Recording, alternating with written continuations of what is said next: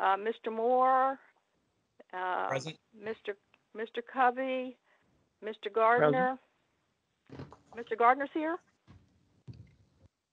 That's Danny. Okay, okay, not, not Gardner. Mr. Hawkins, Mr. Holly, and Mr. Here. Munson, we already know. Who, who just said here? Holly? Holly, yeah.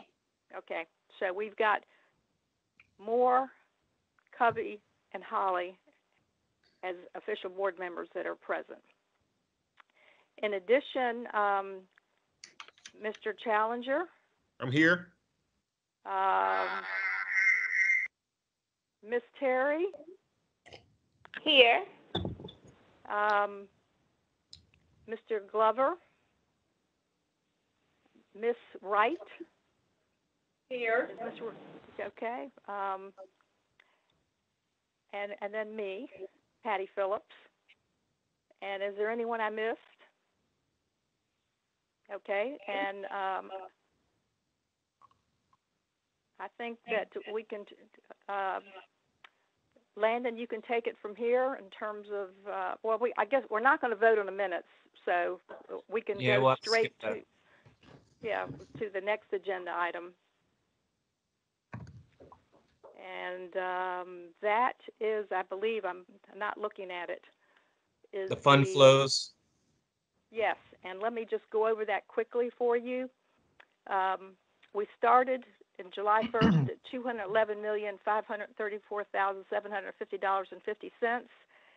And uh, of the two months of this fiscal year, uh, there has been 4 million. dollars $829,508 paid out in benefits.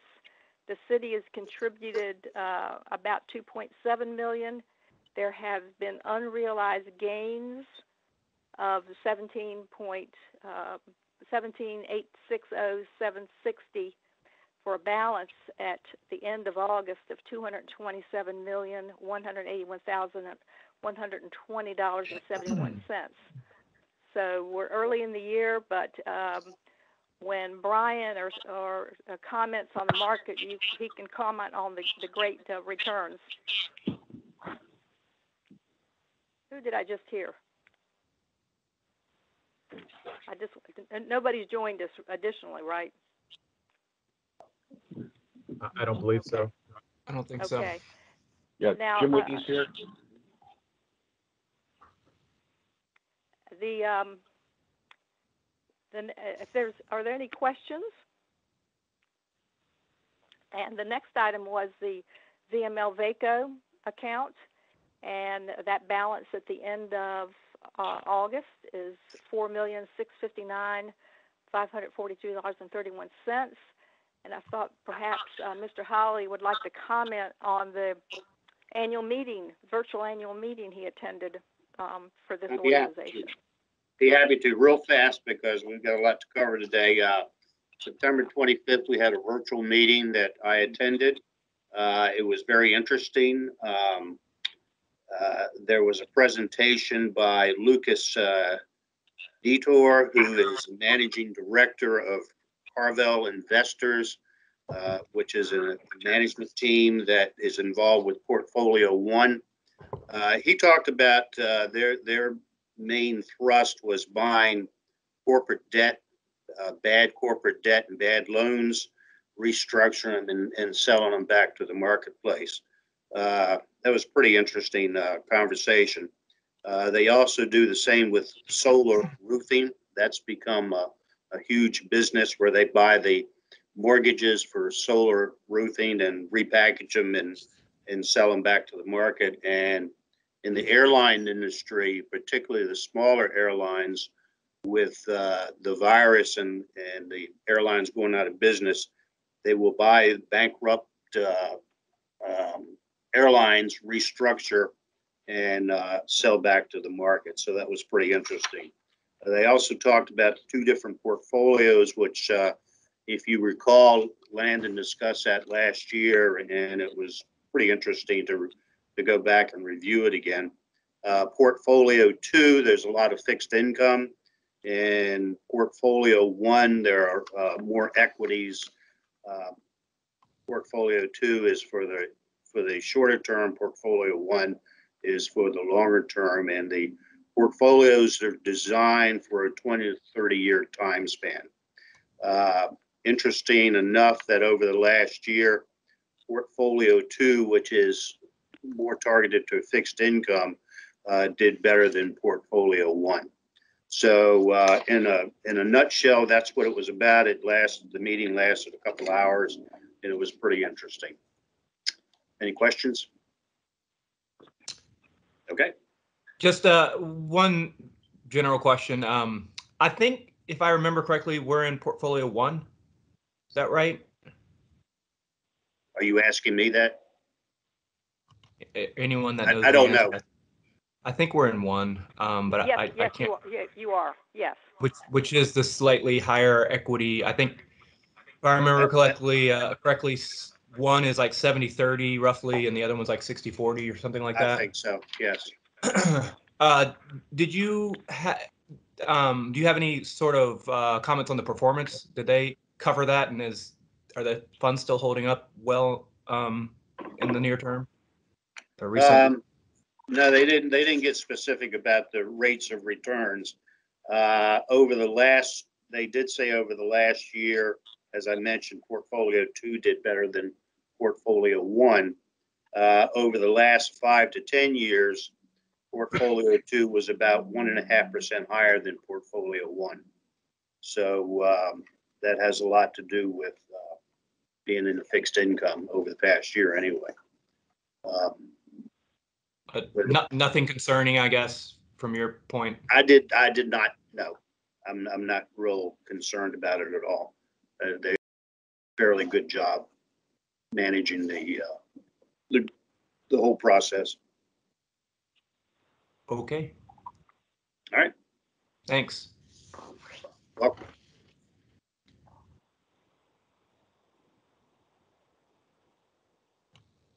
All right. Yeah, So I think with that, Landon, it's new business.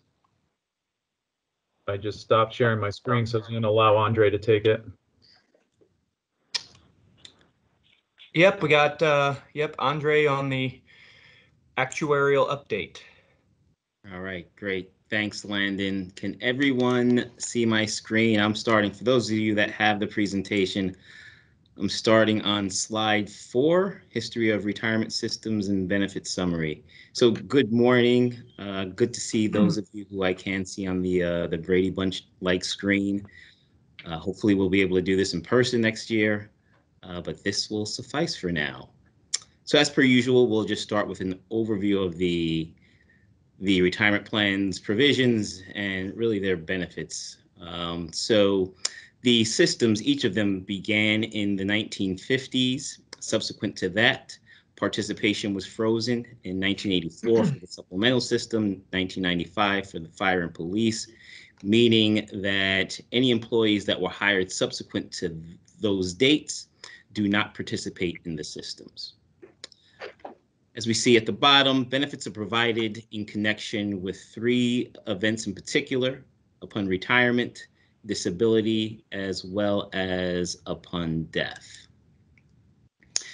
In the fire and police system, uh, participants are eligible or members are eligible for retirement after 20 years of service or a combination of five years of service uh, along with attaining age 50.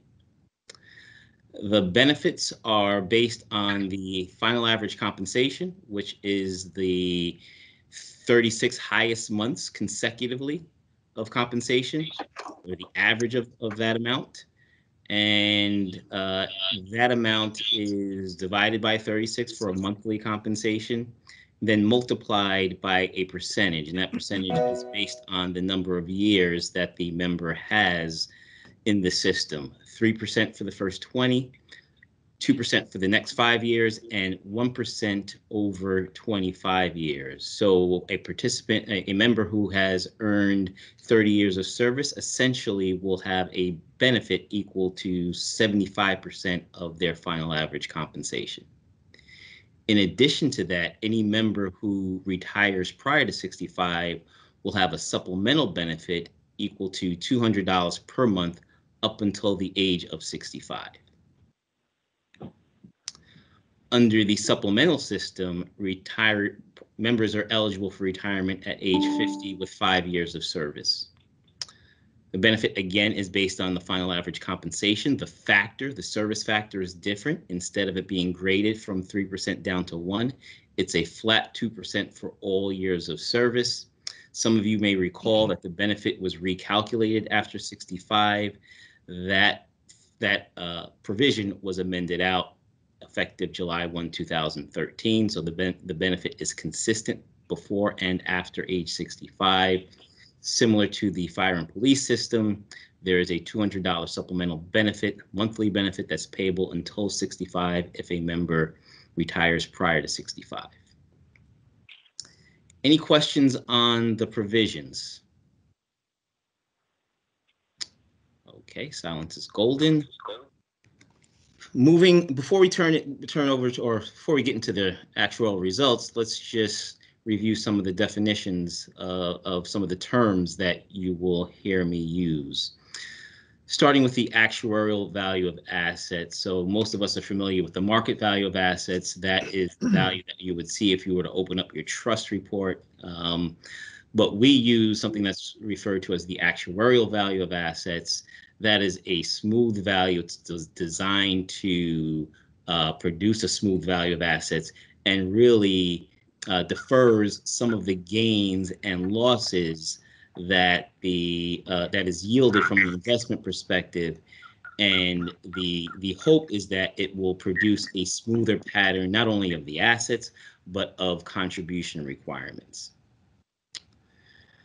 so that's the assets on the liability side we have the accru actuarial accrued liability and that is the present value of benefits that have been accrued to date so in theory if you wanted to settle those the benefits and relieve yourself of the liabilities, that's the amount that you would have to pay, in theory. And the unfunded liability is the difference between those two measures. Uh, the difference between the assets and the liabilities and the amount that you would have to pay to bring the assets up to the value of the benefits. Another way of looking at the difference between the assets and liabilities is dividing one by the other and that's referred to as the funded status or the funded percentage. Then we have the actuarially determined contribution.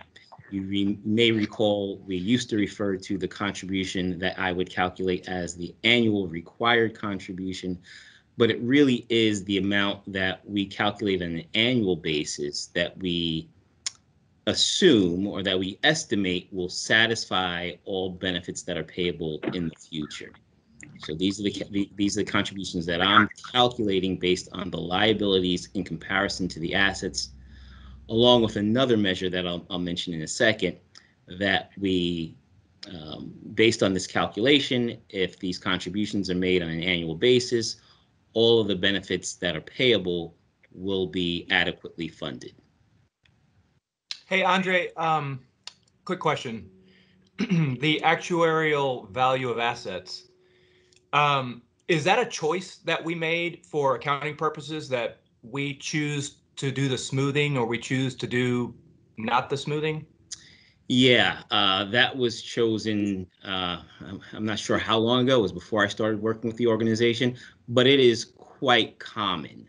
Uh, and again, it's not the, the the purpose is to really just smooth out the pattern of contributions. It's not biased above or below the market value of assets, and that's the key to uh, this measure. Um, sometimes, and, and what we want to see is that sometimes the actual value of assets exceeds the market value, and at other times it's below the market value, and that's when you know it's it's truly not biased. Right. Um, so the the, the follow up to that is what is this only something that y'all use for this actuarial actuarial determined contribution? Is that I guess this is probably a Patty or or, or Mimi question. Do do the rating agencies use AVA or do they use the market value, the, the current market value when they're looking at sort of the debt related to this um, uh, pension plan? I can jump in. My understanding is that they use the market value, but Patty or Mimi, you, you probably know better than I do. Yeah, no, and I'd, I'd wanted to add on to that, that, um, you've done a separate calculation, a, a, a separate handout of the GASB requirements, I think sixty-seven and sixty-eight. And if you really want to get crazy, um, Landon, uh, look at that. Um, Because it's not, not quite so straightforward. the, Well- the, the reason I, uh, the only reason I'm asking is like, what's, I guess, is there any benefit or, or, or not for doing it that way? Is, is it, do you report, so you have what the rating agencies see, they use market value, which makes sense for them. On the sort of the city's balance sheet, do you put this AVA or do you put the market value? There's, Uh, there's about three different calculations, and maybe Andre, you can speak to it. Sure. So this calculation, Landon, that we're we're using the actuarial value of assets is strictly for calculating the actuarially determined contribution, and it's very common amongst uh, non-ERISA or governmental plans as well as corporate plans to use an actuarial value of assets that has this smoothing mechanism. For accounting purposes, less common, uh, and for balance sheet purposes, absolutely use the market or fair fair value of assets. So I as I, I do perform another calculation for accounting purposes that shows your your balance sheet exposure as well as the pension expense or the P and L. Uh, both of those do use the market value of assets, and I don't have it. I I don't have those those numbers prepared in this presentation, but I can pull up the reports and share that with you as well, and we can take a look at the differences. No, that, that that's fine. It I, I think the takeaway is that this smooths out the actuarially actuarial I can't say that determined contribution because you don't want some wild swings in the contribution that you're expecting.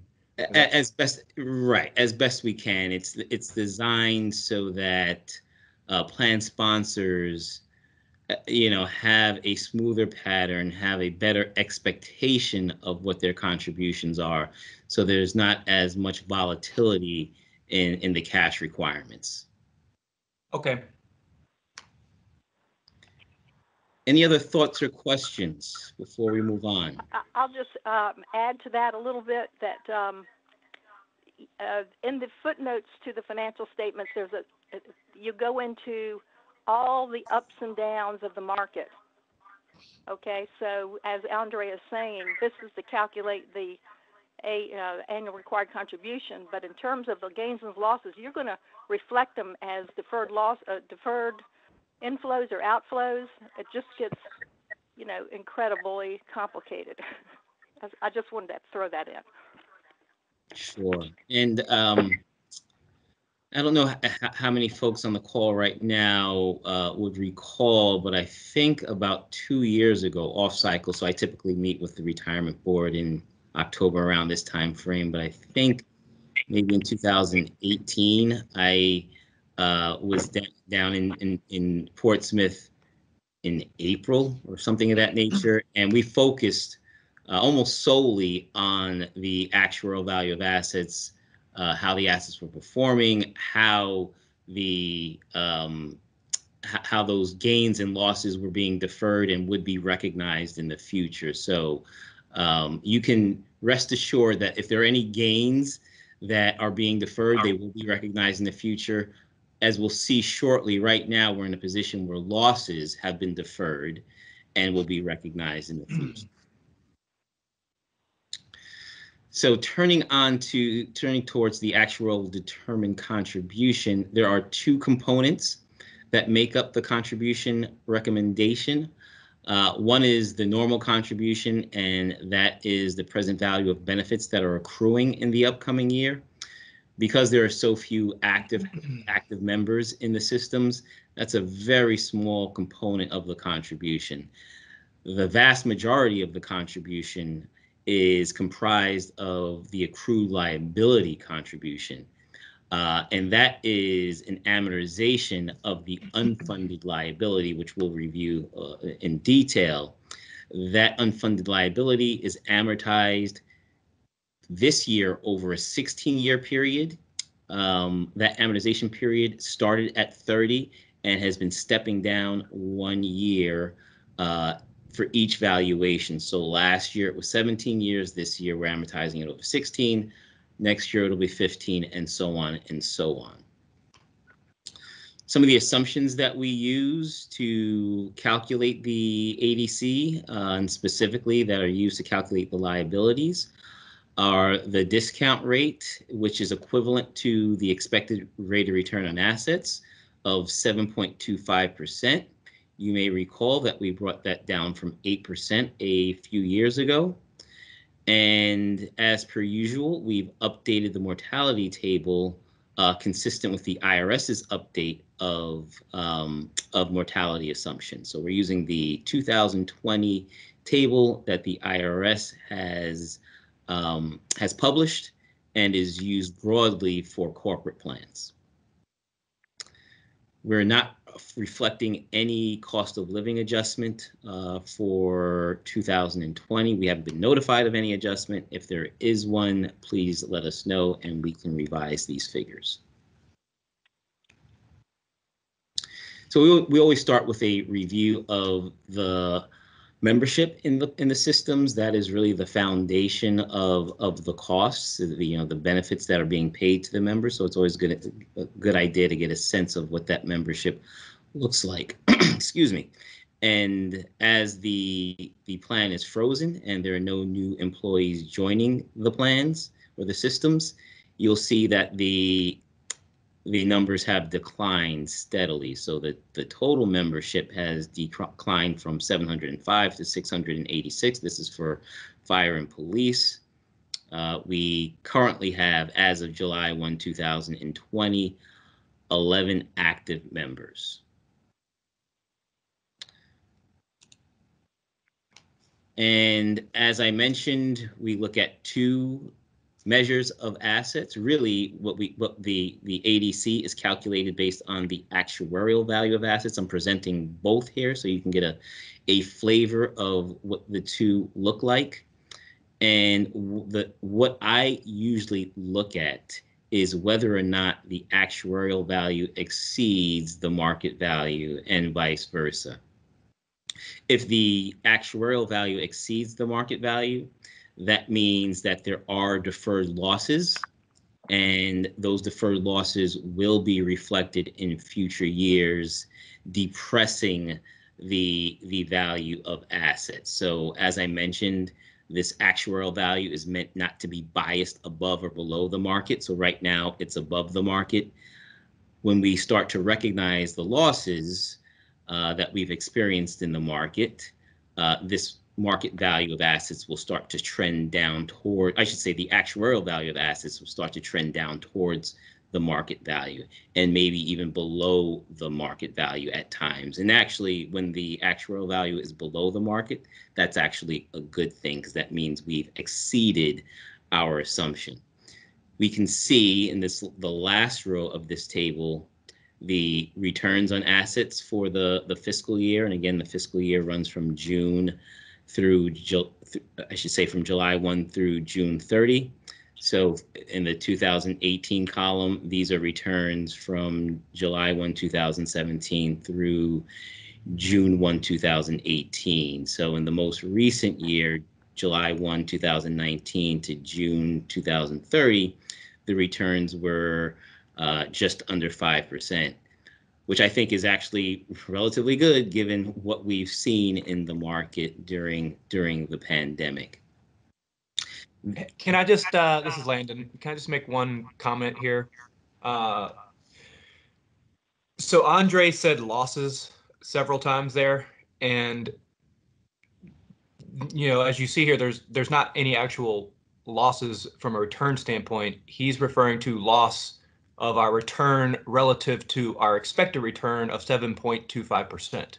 So from a actuarial standpoint, that counts as a loss. Is that right, Andre? That, that that's absolutely right, and that goes for both the assets as well as the liabilities. Whenever the actual experience is not as good as we anticipate, that results in a loss. Like likewise, if the actual experience is better than we anticipate, so you would have gains only if the investment return exceeded 7.25%. So in 2019, we had gains that were being deferred. Good point. Okay, yeah, I ju- I just wanted to make sure everybody was clear that these are all actuarial losses, not, you know, real money. Yeah. Our benchmark, uh, if we're looking at it is seven two five, correct? That's our assumption. We assume on an annual basis, and this is over a long, over the long term, right? We know every year it's going to be above or below. We're never going to, well, there may be one or two years where we might hit exactly 725, but over the long term, we're not going to hit 725 every year. We're, we're anticipating over the long term, the annual returns compounded will be 7.25%. Gotcha. Hey, Andre, Andre, this is Brian, and, and maybe just a quick other comment on this slide. Um, as, you mentioned, the end of the plan year is June thirtieth.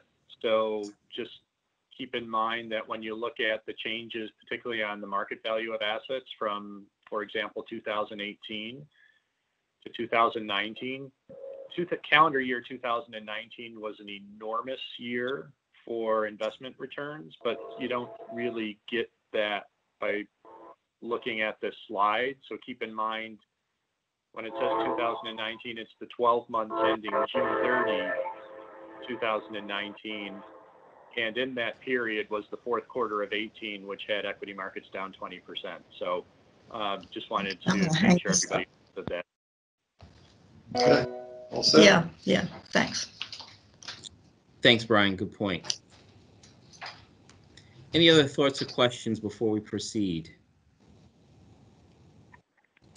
And lastly, um, one of the items we do look at, uh, you know, these are the, the returns on the market value, the return on the actuarial value, you know, the smooth value over the past year, July 1 to June 30 is 5.6%.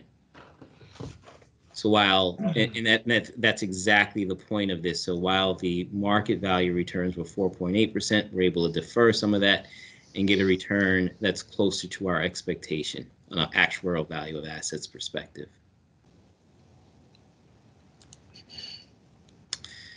And one of the things that I always like to review with the retirement board are, is the cash flow of each of the systems.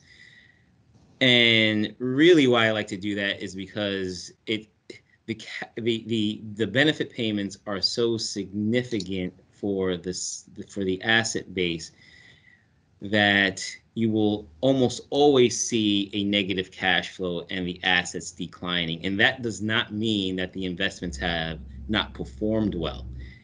Actually, the investments have to to bang busters for us to um, retain the same level of assets year over year.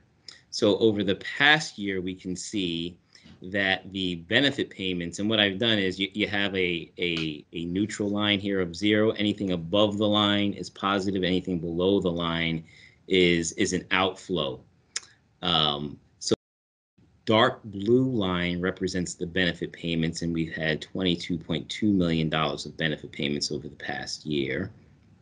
The, I guess I'll call it aqua green bar represents the contributions and they were 13.5 million. And then you can see the the more true green bar, which represents the the investment returns, has also been positive. But despite the the positive investment returns and a significant contribution, the net cash flow represented by this transparent red bar is still hmm. negative. And we've had negative cash flows just about every year, uh, every year except for one over the past five. And again, that is really attributable to, the amount of benefit payments that are made out of the system every year. Very significant in, in, in, comparison to the asset base. So it's very rare that we're going to see positive cash flows, and that's not a that's not a bad thing. It's actually what we anticipate. right. Uh, Andre, can you hear me? Yes. Well, I was just going to comment. Um, first of all, I moved to a, a different, I moved downstairs. And, um, and secondly, I mean, over the long term, the, the, the goal is that the last dollar gets spent and the plan's got zero and we don't owe any more money. So it's going to continually uh, go down over time. Is that right? That's right. So we're gonna see the the assets decline for a bit, and then we're gonna expect them to level off. But more importantly, the liabilities will be declining faster than the assets, improving the funded status of the plan. Right. So if we if we just look at it in, in isolation, just looking at the assets, you know, the might think, oh well, we're not getting the we're not hitting our expectations, but in reality we are because we're looking at it in combination with the liabilities, um, and and we can see that here. For some reason, my screen is flashing, but hopefully you can all make this out. Sorry, I apologize for that. There we go. Andre, can you z- z- zoom in a little bit? Sure. That's a bit too much. I'm not That's sure probably- why this screen is flashing. Uh, maybe I will briefly. if I- oh. There we go. Let's hope no. Maybe Well- I'll briefly disconnect and reconnect, and hopefully that'll do the trick. Well, okay. Yeah, if not, Andre, let me know. I can try to bring it up. All right, pr- appreciate that, Tom. So far, so good. Everyone can see the screen again, I assume? Yes. All Yeah. right, great. So as I, uh, let's move forward. Uh, there we go. Yeah, Tom, maybe you can share. This is Sure. a little disturbing. Technology will kill you.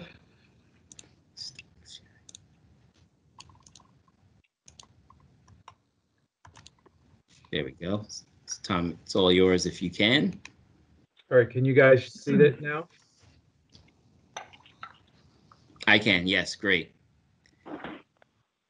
Thank you. So as I mentioned, um, you know, just look, we, we, we, we don't look at assets in a vacuum because in the retirement program, we have two components. Um, and it's the assets and the liability. So in this slide, it's, we're comparing the assets to the liabilities and looking at the funded status. The percentage of the liabilities that are covered by the assets. And we can see from July 1, 2019 to July 1, 2020, excuse me, the funded status is improved from just under 68% to just under 69%. Really good thing. Uh, I will say the the what contributed most to that improvement was the additional contribution from the pension obligation bond refinancing.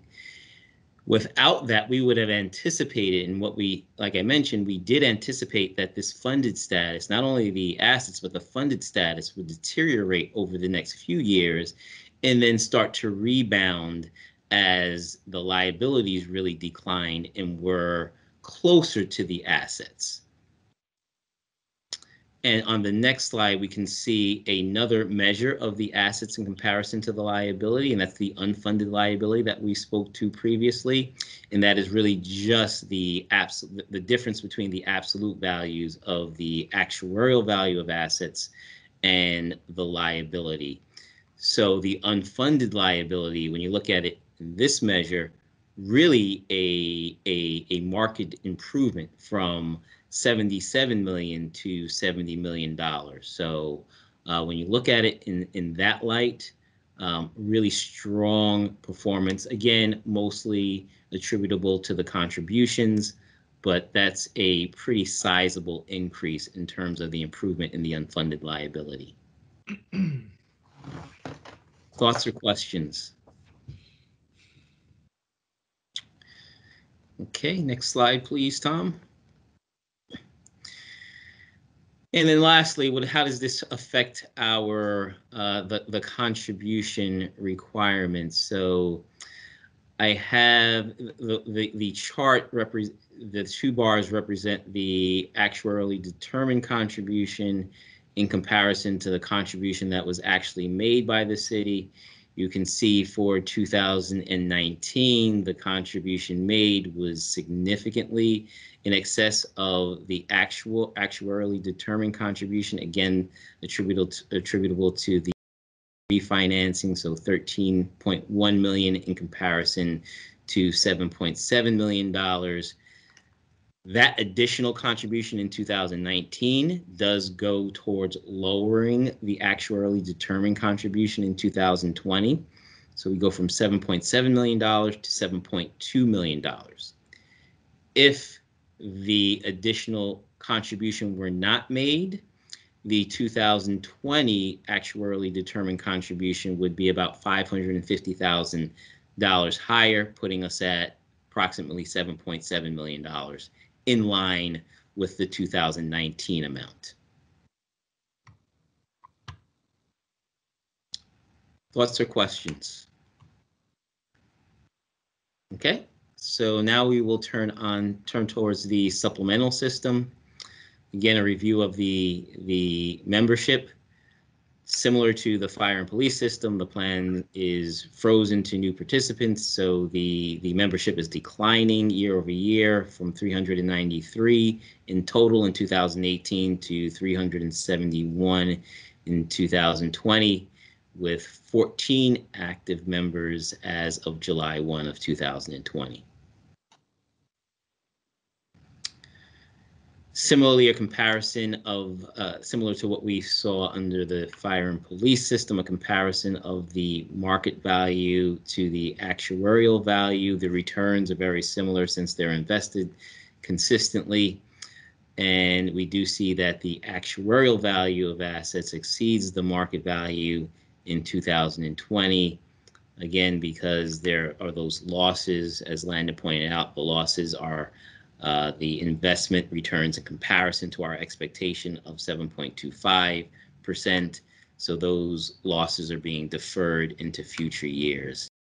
The, is noted at the bottom of the page, the return on the actuarial value of assets for the most recent year is 5.5% uh, in comparison to the market value return of 5 4.8%. So we do get that that favorable treatment due to the smoothing of the actuarial value of assets.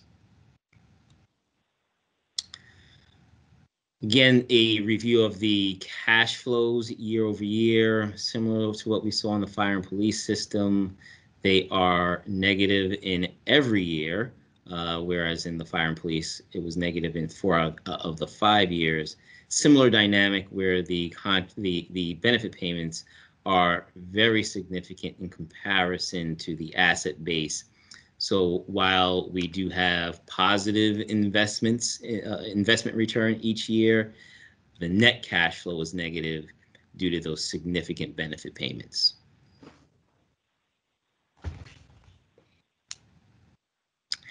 And the the funded status similarly has improved from 2019 to 2020 from 71% to 73%. And we will see on the next slide, the unfunded liability has also improved from 22.2 million to 20 million dollars. Again, uh, attributable to primarily, I should say, attributable to the additional contributions from the bond refinancing.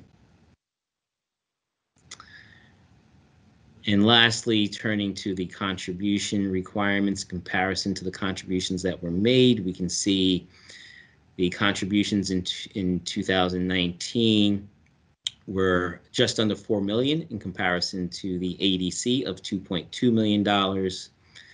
So that does lower the contribution in 2000 or the actually determined contribution in 2020 to uh, $2,060,000.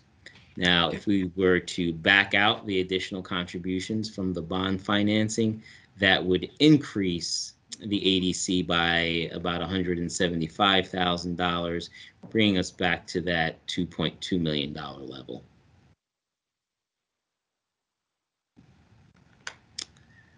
So that brings me to the close or the end of my prepared remarks. Any I have one question before Please. before we quit. Uh, so 2020, are we currently in 2020 or are we in 2021? Is this is did 2020 end in June for the city?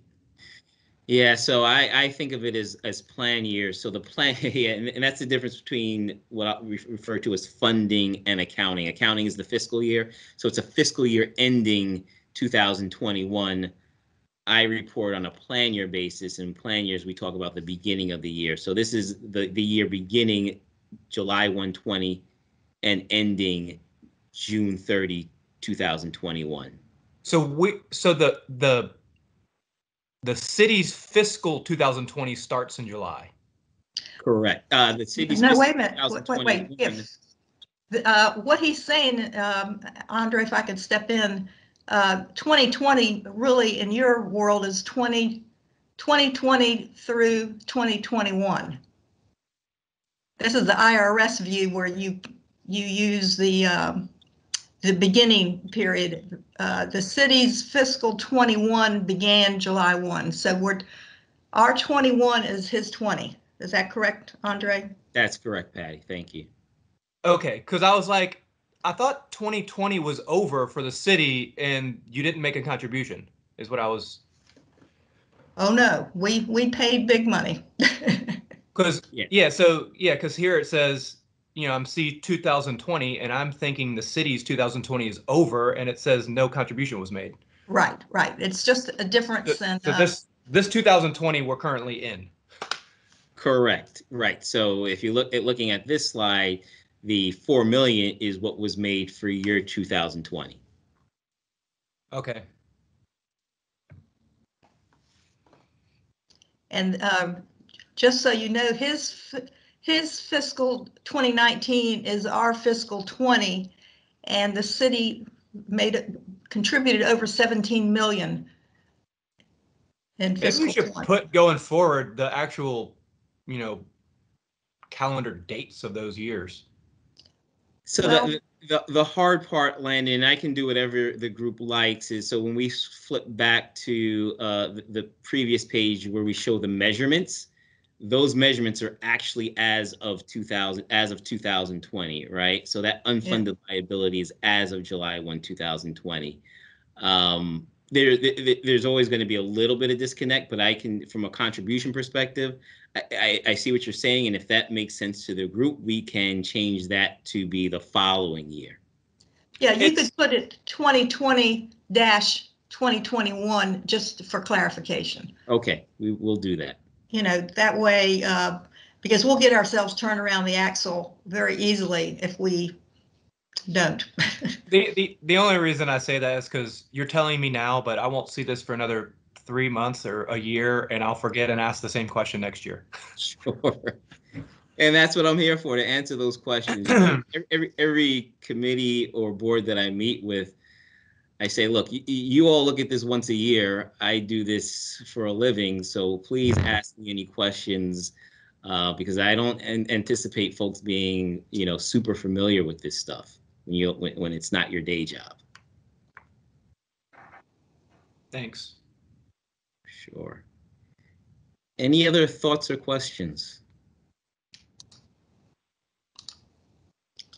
Very good. Thank you. Appreciate that. Okay, I will We turn love, it. we love this. You're, you're, you're in the minority if you're referring to actuarial reviews, but I appreciate it. Thank you. Yeah, yeah. So I think that's everything we had on the agenda, but since we have Brian and Jim, could you give us a five minute overview of what's been happening the last couple months? Three months? Yeah, yeah. Happy to. Um, good morning, everyone, and, and Jen, please do chime in. Um, I, I jotted a, a few things down um, yesterday, and let me just kind of give you some statistics. Um, you know, the third quarter of this year, um, as you're all aware, got off to a pretty darn good start. Um, July and August, our fund uh, was up, you know, call it between four and five percent each of those months, and it was really just a continuation of the of the bounce off of the the March lows that we saw in the equity markets, given all the fiscal and monetary stimulus that uh, that um, you know the central bank and and Congress has thrown at this healthcare crisis. Not terribly surprising to us that we've rallied so hard off of those March 23rd lows.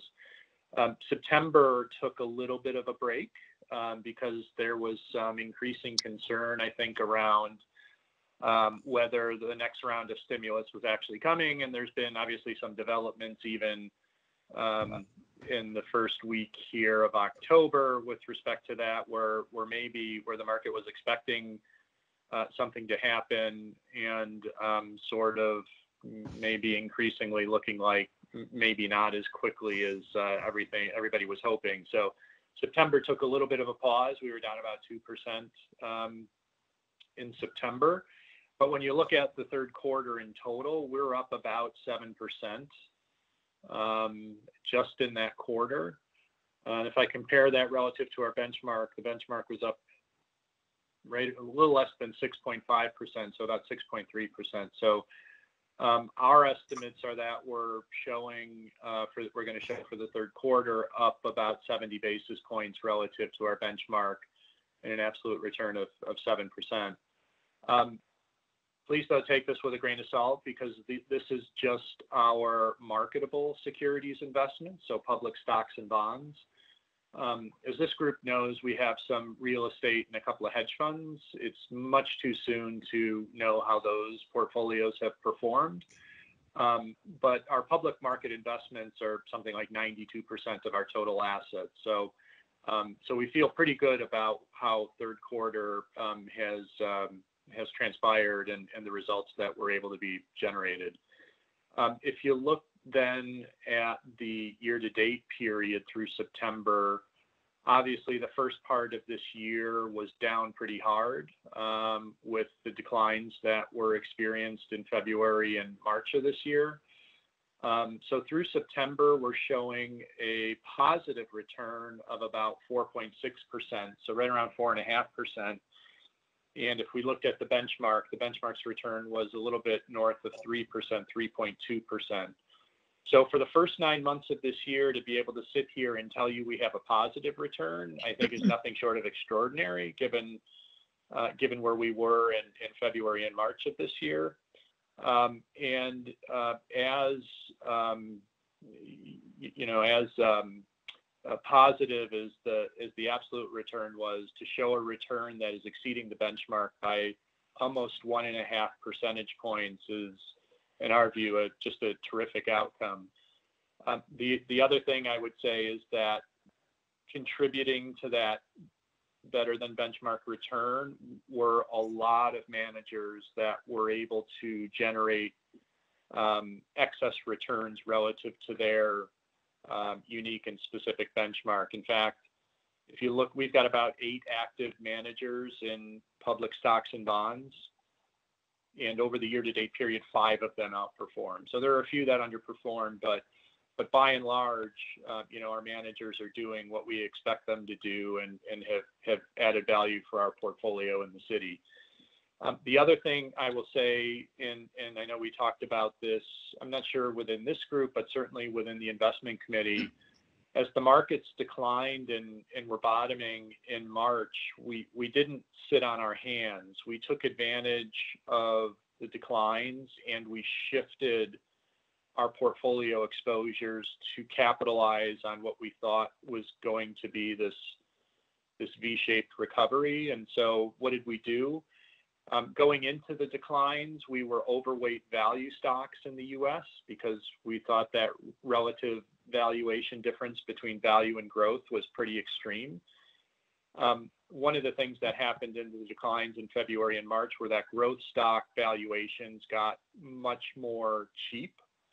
And so we had the ability to shift that overweight of value stocks and, and have a more balanced value growth exposure and since March, those growth stocks, technology stocks, healthcare stocks, consumer discretionary stocks have really outperformed uh, value stocks. So that shift in exposure has really worked in our favor. The other thing we did was we took a little bit of our fixed income money, which is largely investment grade bonds, and we bought some high yield bonds. And uh, high yield bonds act an awful lot like more like stocks than they do sort of traditional bonds. And so as the equity market sold off and high yield bonds sold off, it presented a compelling investment opportunity for us in that space. So right now we have about 5% of our portfolio in, in high yield bonds, and, and that's performed uh, very well as the equity markets uh, recovered and sort of in tandem, high yield has recovered as well. Let me just spend maybe a couple of minutes on the early part of October here because there's obviously a lot going on. We're getting closer to the election. A lot of clients are asking us, well, what do you think about the outcome? And, and I'll just uh, a couple of comments on, on stimulus and then maybe a, a comment on um, on the um, on the election. Um, as as you know, um, the White House administration came out a couple of days ago and said, you know, we're done with all these stimulus talks and uh, we're going to wait until after the election to re-engage. And, and that was disappointing for the market, disappointing for us too. I, I think everybody's kind of feeling that there needs to be something done to, to you know, keep the job market improving, keep the economy on, on solid ground here. Um, you know, that sort of the uh, it's interesting the words that are, are spoken. So the market sold off um, after that news came out. Yesterday was pretty strong, and today it looks like it's going to open up pretty strong too.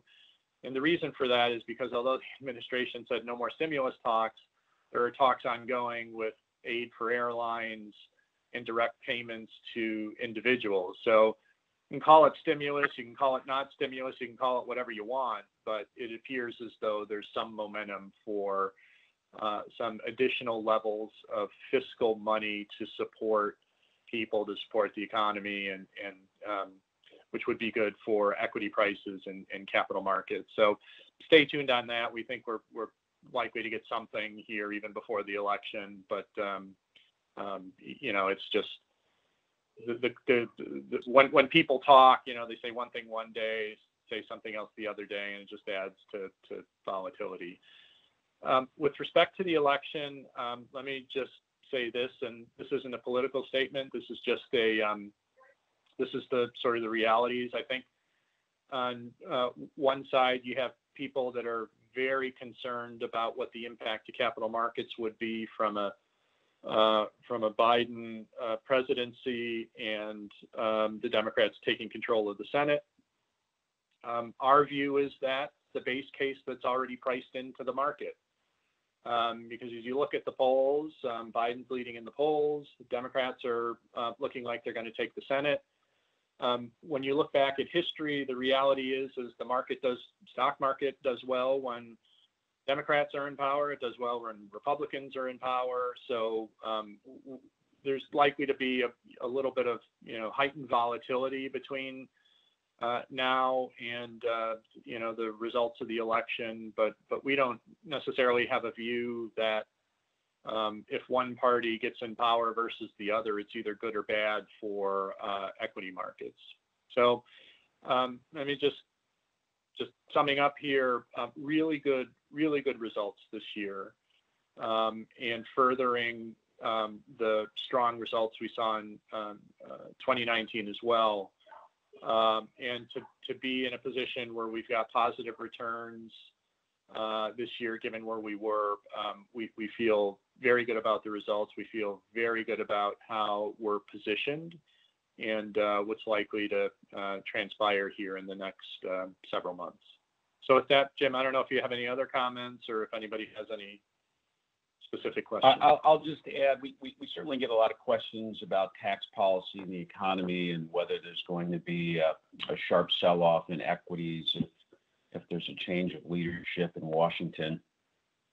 And, and we've done some work around this question and changes to the marginal and statutory tax policies in our view have little correlation with economic indicators. We actually found very weak evidence of a relationship between GDP growth and changes in individual or corporate tax rates. And we, we, these studies um, have gone back to the 20s. So the correlation coefficients of uh, capital gains, um, changes or increase in tax rates is probably around 0.3. And to be statistically significant, we need something around 0.5. So it's really the business cycle that, that dominates um, the performance of the equity markets when there's a change in uh, administration leadership and not tax rates.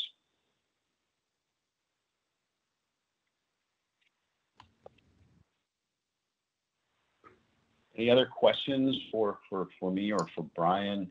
Brian, let me If you ask, let me ask you a question if I can. Um, going back to what you and Jim were referring to, if there is a blue sweep, uh, this, this year, uh, your team does not anticipate any major changes in the way our portfolios are structured.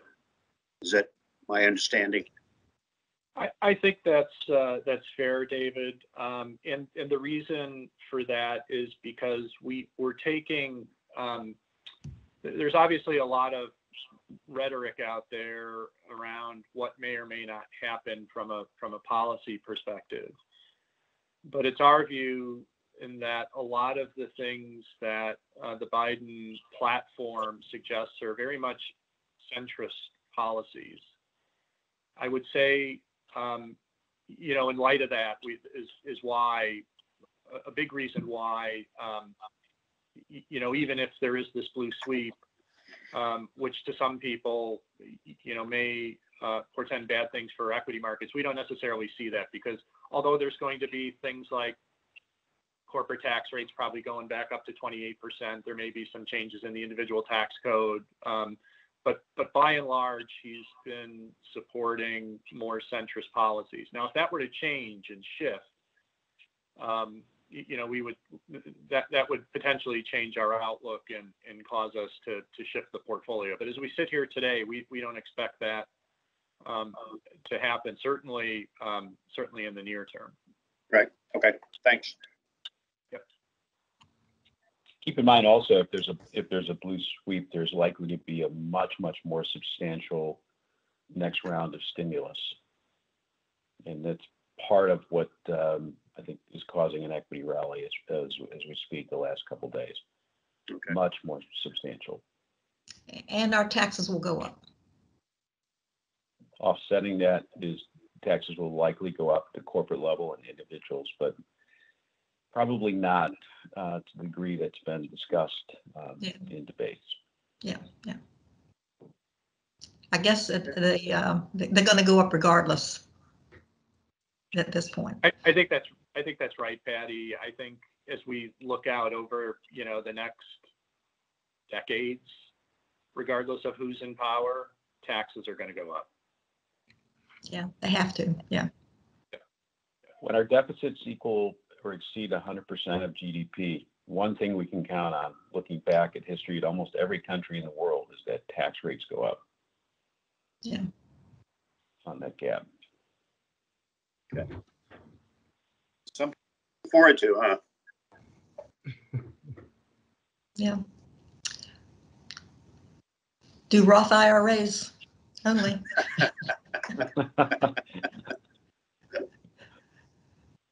Re- Okay. Realize your capital gains this year, Yeah, perhaps. might as well. Hey Patty, just um, quick question out of curiosity. I was wondering if there was any progress in the um, filling of the open retirement board seat. Uh, I checked with the city clerk and, um, n- nothing has happened as yet. And I, you know, I don't want to speak out of turn, but, um, I think if you have any suggestions to pass them along to Mr. Glover, and, um, they will consider them.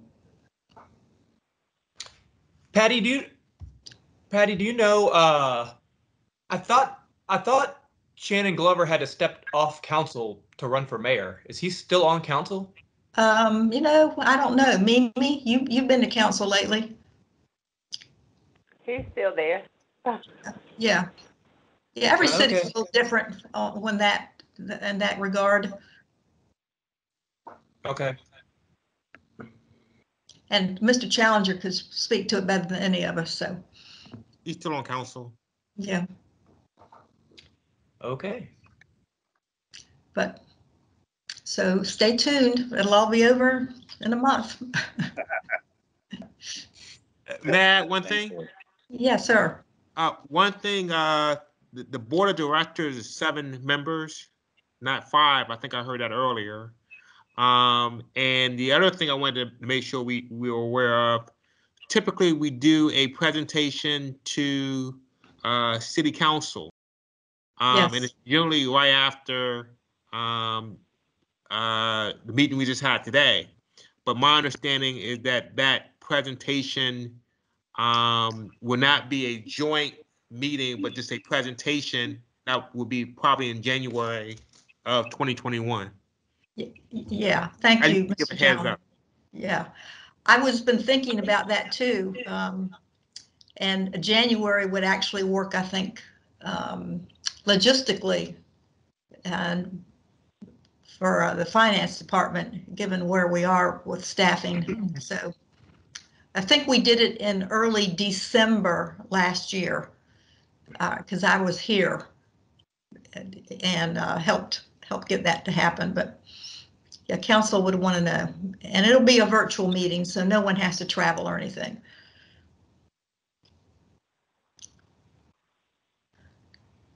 Okay. Landon? I don't have anything else. If we want to, uh, end the meeting. Yeah, we, I think we're pl- uh, planning on uh, a meeting next month so that uh, they can review, I think, the market status a little more completely. So, Yeah, we'll, we'll have our report uh, in early November, so, um, you know, it's going to be the first Thursday or the second Thursday, we'll be ready to go. yeah, second Thursday, yeah. Yeah. Okay. All right, well, thank you, everybody. The President is, but what the heck? Yeah, maybe. Yeah. Well, thanks, everyone. Thank Good seeing you. everybody. Be well. Thank you for your time. night. you.